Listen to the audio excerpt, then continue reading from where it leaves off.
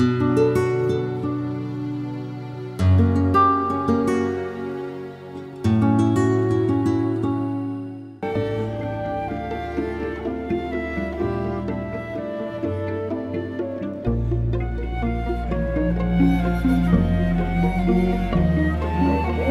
Liliana. Hi, We're Roger. talking again. We are talking again. Been friends a lot of years, and you've touched my life and a lot of people around here a lot. So we In a want good way? por supuesto. Oh, See, I can speak Spanish now because of her. and Okay. so we all want to know what are you doing in Pittsburgh? How'd you get here? well, I, I came here, Pittsburgh, because my sister was living here. And at that moment, I saw that there was uh, not too many Latin American business. And I thought that could be a good idea to promote our culture. Argentina is uh, very rich, not only in food, drink, pastries, but also, you know, our music, the gauchos, uh, so many things. Oh yeah. So we plan to open a cafe temático that's been, and I'm very happy to see that in all those years we really did so many cultural activities. Yes, oh for sure. Now you came from Mendoza. Yes, it's a pretty town near the mountains, mm-hmm. in the middle and in the west of the Argentina. So your mountains are prettier than Mount Washington? Oh, of course, it's different, but yes. Okay. Uh, when you were in Argentina, you did many different things. Yes, I mm, mainly I was a journalist there.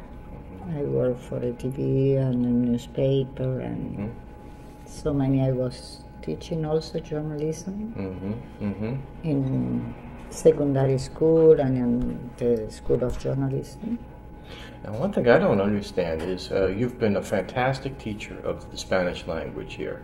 Uh, you're, you've got a really devoted following. I love to teach. It's a, it's now what I don't understand. You've developed all these materials Yes. all on your own. How did you learn how to be such a strong language teacher? Well, because uh, you are involved with the people and you know how they think and where are the differences and where are the difficulties. Mm-hmm. So, uh, normally, I don't know, I can say, but maybe if you are uh, Spanish, you write in the Spanish way. And if you are American, you write the exercise in the American way.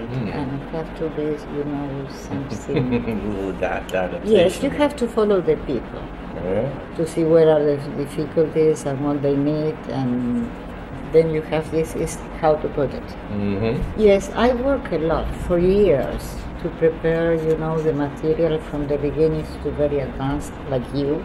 Oh, well, I have a gigantic bag of. of I think also material. to focus that in a in a way that if the people have to talk just from the beginning. Yeah.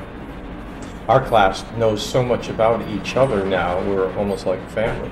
We are a family. Yeah. yeah. And I can forget when this, uh, you know, there was uh, the project to turn down the place, and Mhm. we thought that we can survive because survive because there was so many things happen one after the other. You know that the crisis, the closing of the movie theater. So you can imagine uh, how it means for us what Yeah. we did. All the All the As uh, there were some public meetings, and we we'd get dozens or hundreds of people out. Yes. to- to and we support collect or- around 30, uh, 3,000 signature to keep going. Yeah, we were down there at the zoning board trying to get this, keep this place open, Yeah. and all these other places have closed. All these great financial institutions have closed, and the Tango Cafe kept The going. name, Yes. Right. Yeah. So when you got here, initially there was a lot of tango dancing in here. That was Yes. part of the cultural Yes, mission. right? you know, I think there was really a need some, of something like this Mhm. because uh, two or three days before the grand opening, uh, Group Trini and and John called me. They introduced themselves and they say we are the tangueros of Pittsburgh. Mhm. So they came to the opening and they danced here. So it was before I opened the door for the public, they were here and dancing, and that continued for years. We have a tango lesson, concept of tango, uh, a li- live tango. Mhm. That was beautiful. Yeah. I don't, you know you don't want to talk about it, but why did it end? Well, uh, because uh, BMI. Know?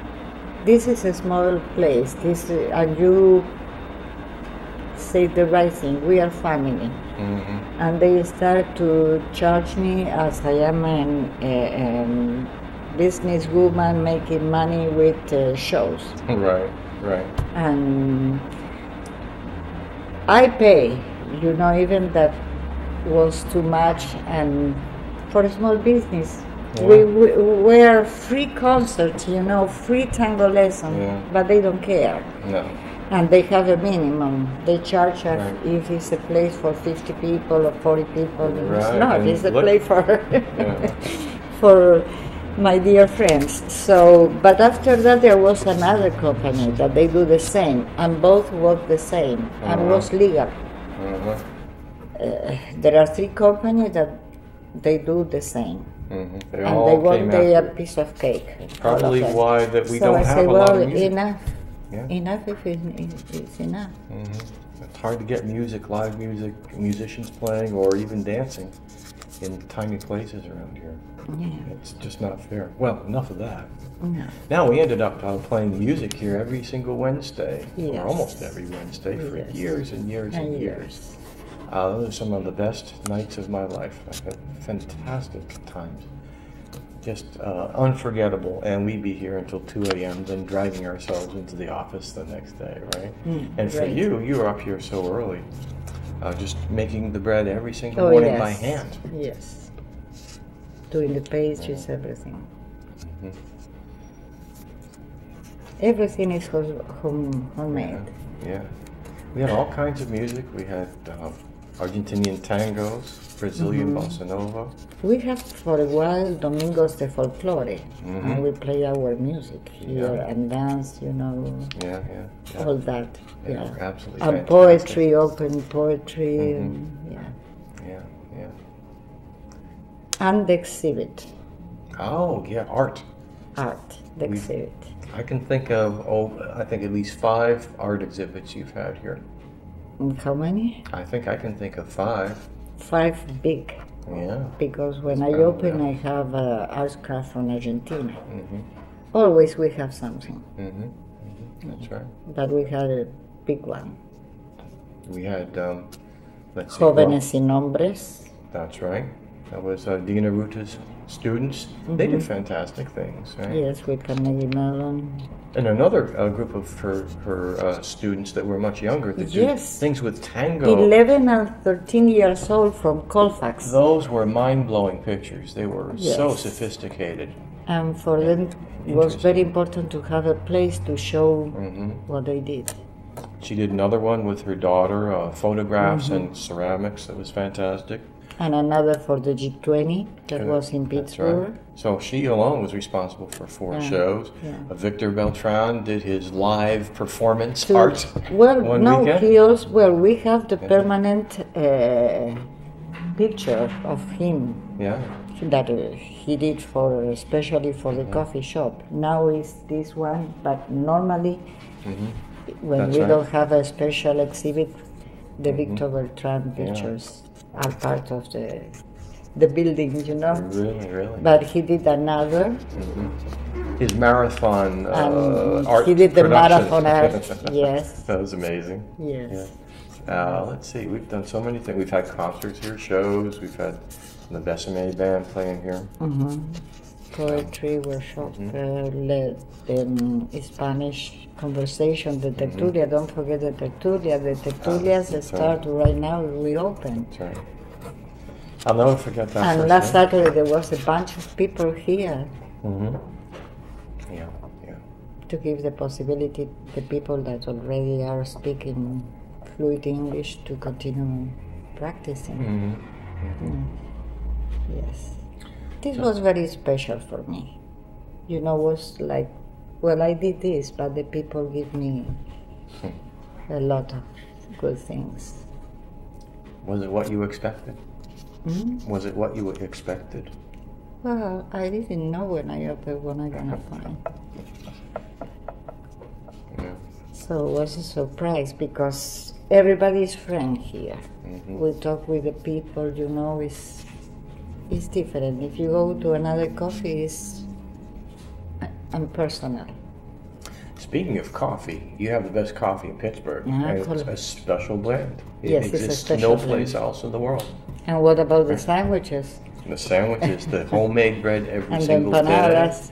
I've We have good stuff. Yeah, yeah, yeah.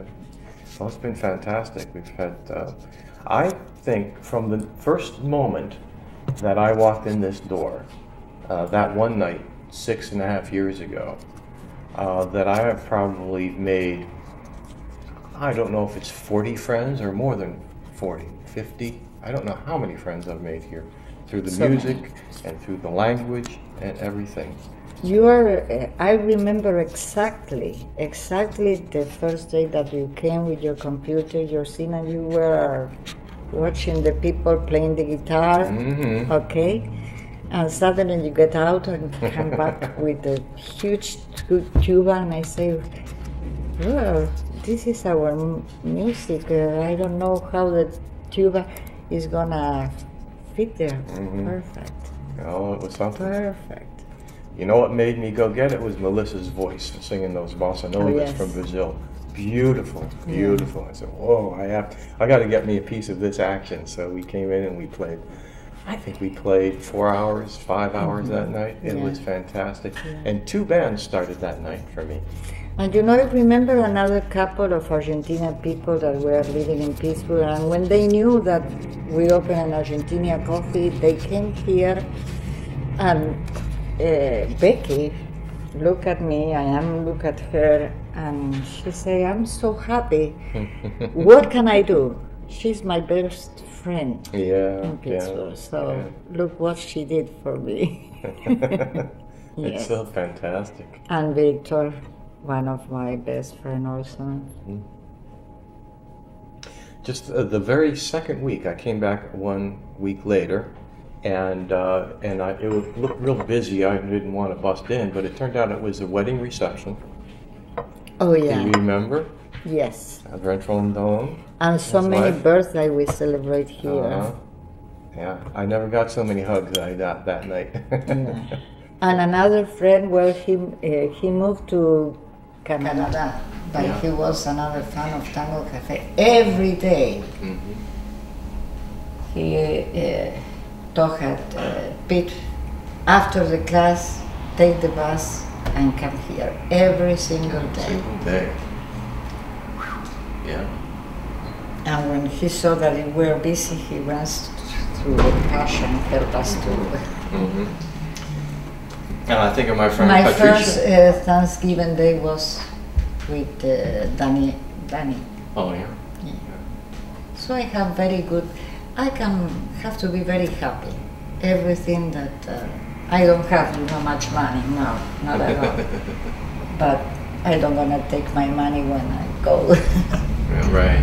Right. so Right. Right. everything is here. So I'm a, a rich woman. Mm-hmm. Yeah. Well, I'm afraid in this country they call your net worth is how much money you have, Yes. and I think there's more to worth than that. A lot more. so we did it. You did it. We all did it, really, because I feel like we're part of this. We're all part of this. Yeah. On behalf of America, thank you. or Pittsburgh, or at least Squirrel Hill, or me. Okay, well, mm. it was a, a great talk. Is there anything else that you would like to say? I think that's it. Okay. Thank you. Thank you. Thank you. Thank you.